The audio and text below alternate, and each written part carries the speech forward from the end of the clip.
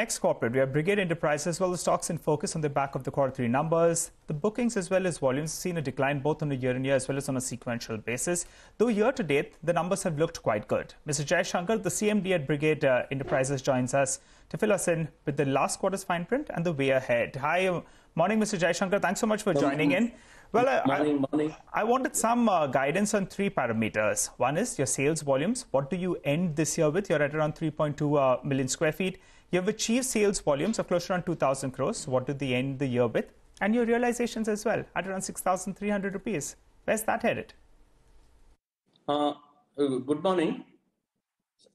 Na- naturally, the, this uh, Q3, the volumes were slightly down, primarily because uh, some of the new launches uh, could not uh, happen as uh, the authorities were not approving in the last quarter due to also some High Court order uh, generally, not for us in general. Now those uh, those issues are behind us, and we hope to launch about uh, 2.4 million square feet in Q4 and uh, Q1 of uh, uh, next FY23.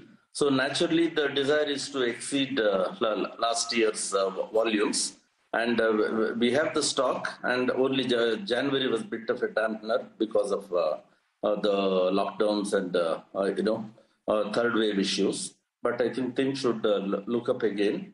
And uh, we uh, hope to do better than last year uh, in general. So, and already profitability has uh, improved, yeah. primarily because our uh, hotels have turned, turned around. And the office, we have done some good leasing in the last quarter and uh, even the retail had uh, uh, looked up quite a bit. You know, Mr. The, Shankar, uh, yeah, a, yeah. quite a few of those details that are giving us, you know, it's there in your presentation. But the key number okay. that that we're looking at is last year you did around 4.6 million square feet. For this year, do you think that number can be closer to around 5 million square feet? You know, give me give us a rough number, and also the sales number. You're already at around what 2,000 crores in the nine months. What do you end this year with? Please go ahead. I, I can only say we are uh, hoping to cross it. It is generally uh, a bit difficult to give a very clear picture, but we are hoping to cross it. And we have two months to go. And uh, as I said, the January was a bit uh, tough. And let's hope the next two months are good. Generally, we don't give too much of guidance.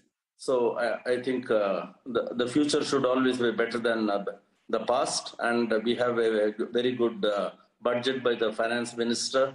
So that, that should also uh, generally uh, improve the sentiment uh, in the market, real estate, and rest of the economy. Sir, can you give us some numbers on the hospitality segment? Because over there, the occupancy uh, reached pre-COVID levels in December. It had improved to about 60%. But then we saw Omicron hit as well. There was an impact in Jan. Uh, for the quarter to come, which is Q4, uh, or rather, you know, the end, the last quarter of the year, uh, do you think the hospitality segment could get hit in terms of earnings and what is the prognosis now? Uh, see, January was definitely a taken a hit in uh, hospitality across uh, the country. And uh, particularly the international travel uh, is again pushed to end of from December to January and January to February now, other than the bubble tra travel. So, but, now that lockdown, weekend lockdowns are lifted, the occupancies are inching up this is the uh, first weekend, probably you can say, uh, you know, the post uh, weekend lockdown. So we need to see, but generally it should be better. February, March is uh, certainly good months, and we hope uh, the government will, uh, you know, lift the international travel restrictions. otherwise, we have done quite well in hospitality.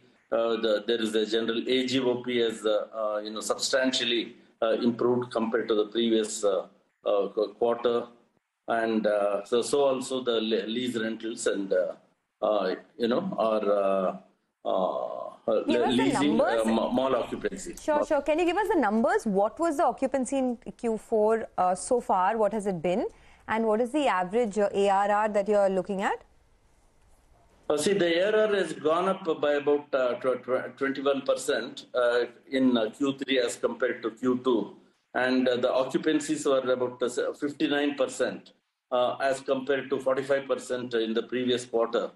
And this is the general across eight hotels, including two hotels which started just before the COVID of, you know, March 2020. So the, the those uh, the one in uh, Gift City, Gujarat had uh, started two months before, and also one other hotel uh, also had uh, started just before then. The one in Holiday Inn Express in Bangalore. So I, I think including those new hotels, our average occupancy is 59%. If you exclude that, it is more, more than 67% or so. Okay, all right. Your portfolio ARR is at 70% of pre-COVID levels.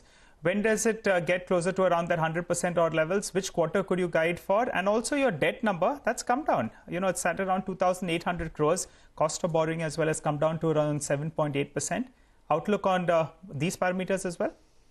Uh, yeah, I think uh, our debt levels will uh, continue to come down. Uh, I expect it, particularly in residential, it is Uh, it is just 0.14% uh, uh, is the debt level, 0.014 to uh, you know to one uh, in a residential segment. In case we take up more projects in the leasing segment, the debt levels may slightly go up, and the interest rates are you know hopefully likely to remain in that uh, uh, the, the, that level. I hope so. And uh, though, though the market is interest market is showing a little bit of upward trend.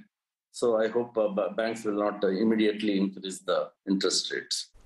Okay, so we leave it at that. All the best. Um, your Q3 volumes would, uh, you know, hit a bit because of the delay of new launches. I guess that's expected considering uh, the Omicron wave. But now things are better. So all the best for FY23. That's the word coming in from Brigade.